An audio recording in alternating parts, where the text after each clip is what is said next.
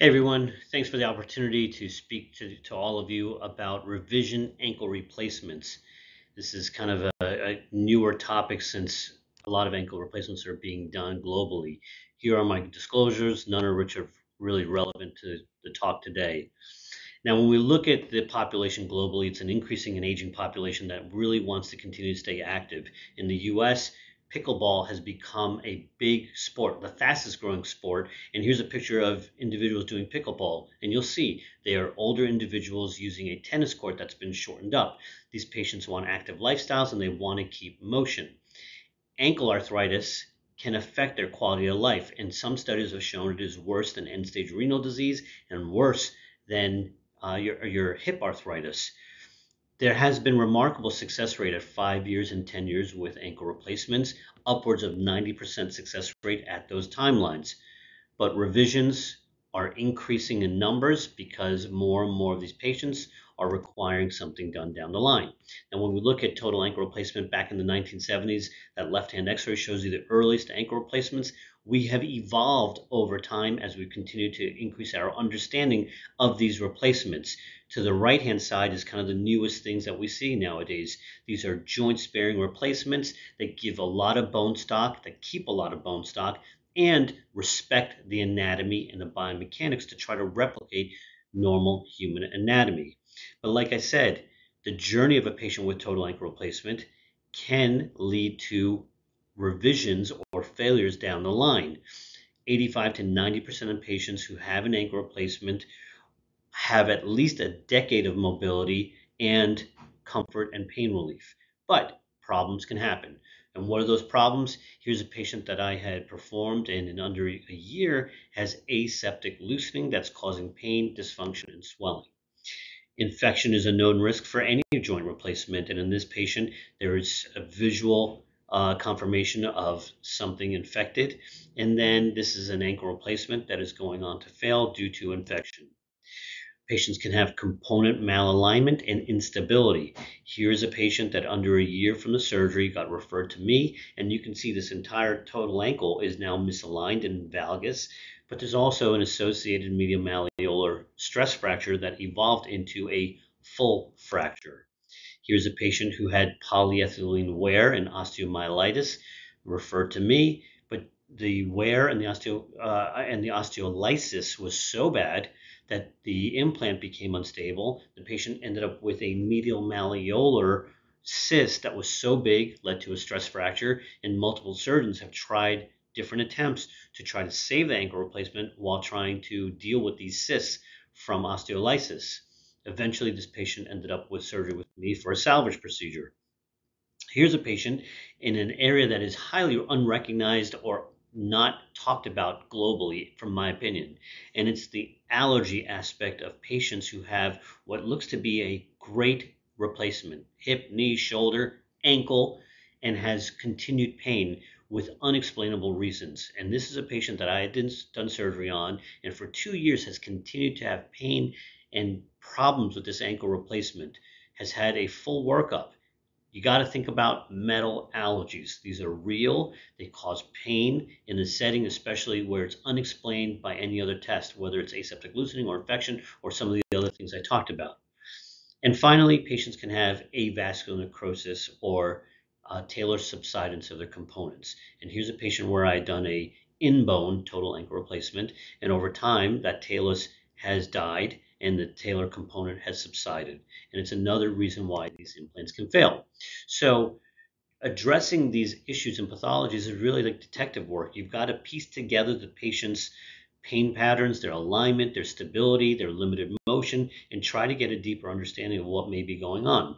And that diagnostic studies start with x-rays. A patient like this has x-rays, there's a suspicion for impingement of the fibula on the talus and the lateral implant. Now you got to correlate that with the physical exam.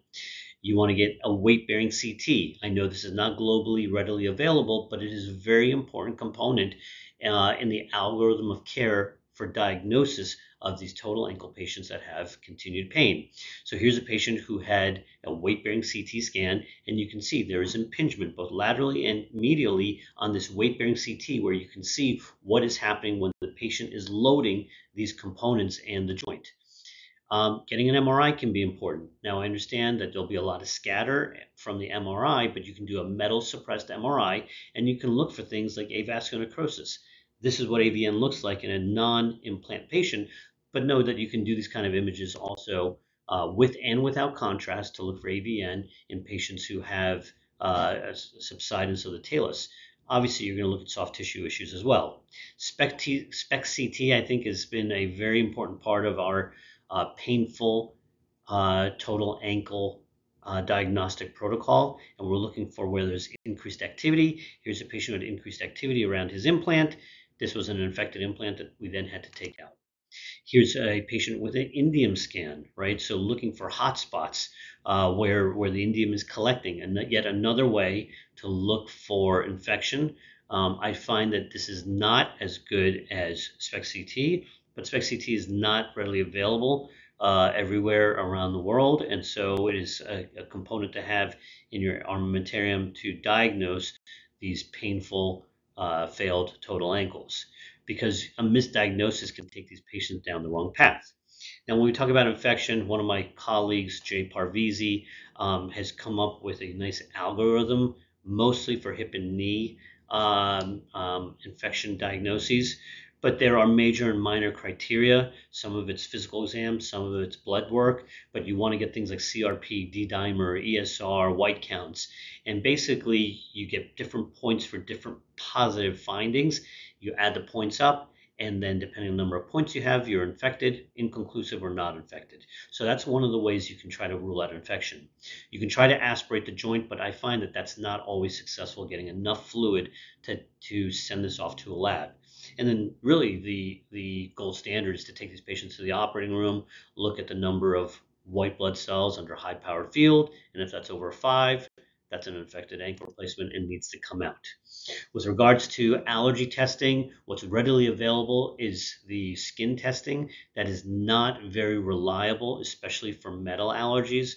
So I like to do a, a, a blood test um, and that looks at the the activity of the white blood cells and how reactive the patient's white blood cells are to different types of uh, metals that they're exposed to. And this has been shown to be much more uh, specific and sensitive to metal allergies. So remember, when we're there's an art and science to revision total ankles. Uh, it's just not a procedure. You really have to understand the depth of what you're dealing with and have a tailored response for the patient. You do need to address bone loss. You have to address infections. You've got to have a strategy of, different implants that are available on the market and what would work when. You've got to remove the implant, use bone grafts as needed, do soft tissue work as needed, and really get these patients an aligned implant that works well. And then getting them good rehabilitation is an important part to their outcomes. When we look at outcomes, 10 to 26% of revision total ankles require further surgical intervention. That's much higher than a primary ankle replacement. 14% of these will still fail. The survivorship at four years is about 87%. Not horrible, but not as good as a primary. So here's some cases I want to go through with you guys. There's three of them. Here's a 76 year old female, had a primary ankle replacement done uh, at an outside facility. That primary ankle replacement continued to have pain less than two years out, had a revision done six months out from surgery, continued to have pain, then it gets referred to me. And you can see that the component is subsiding. And this is very unusual for two ankle replacements to fail in three years. It increased my level of suspicion of a possible uh, um, metal allergy. So we get her tested and she pings for nickel, right? Her infection workup was negative, pings for nickel. We get a custom implant made without nickel. It's all titanium and she can go on to get a subtalar fusion with a combination total talus ankle replacement. She's done well about a year out from surgery. Here's a 64 year old male who had a a, an Agility ankle replacement 20 years ago. It is failing comes in to see me, and we can do, give them a, another custom option total talus fusion part under the under the implant with a subtalar fusion, talonavicular fusion, and a custom implant to be able to get them better alignment, better function, and continue to live with some motion. And last, this is a 72 year old who had a STAR ankle replacement three years ago. And sometimes you get lucky and you can just do a simple ankle revision replacement. I like to do bone sparing options where I can so that if they need more surgery down the line, they can get that done with one of the stemmed implants. So less than one years out, this patient is not having any pain, not having any lateral column pain or medial malleolar pain. If you look at that STAR ankle replacement, um, if I go backwards, you'll see that there is uh, there was some uh, stress on the medial malleolus, and that was causing her pain as well. So in general, you got to master the art of revision surgery, understand the mechanisms of failure, continue to keep up with ongoing research and the evolution of implant techniques and surgical methodologies, and contribute to that if you can, and create a team of surgeons, plastic surgeons, neurosurgeons, physical therapists, vascular surgeons to get these patients optimized as best you can as you can before, during, and after surgery. Thank you.